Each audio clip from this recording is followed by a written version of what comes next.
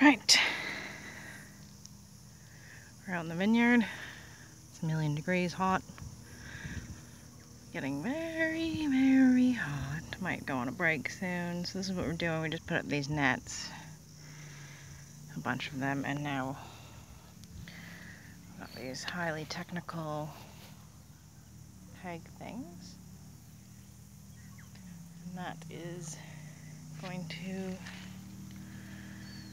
pin down this loose stuff so that it's like this. All nicely pinned, not pinned. And then you can see I've just done that little section. So, uh, yep.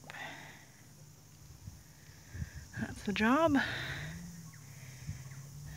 That's what's happening. The birds are not happy with it. So,